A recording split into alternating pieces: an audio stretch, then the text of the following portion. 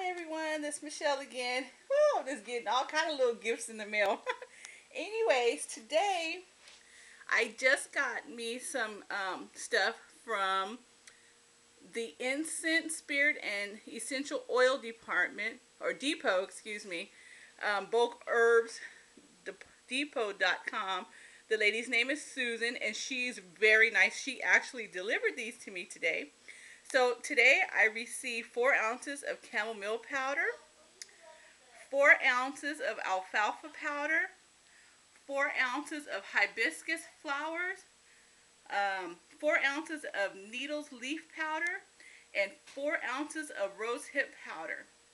So I will be adding these to my soaps. So you guys, and you know what, actually, if you're local in Fresno, um, she will waive the um, shipping fees and deliver them to you, or you can pick them up. So, for all those soapers in Fresno, she has wonderful um, items on her website, reasonably priced for her um, for her herbs. So, give her a look out. Um, again, her website is www.bulkherbdepot.com.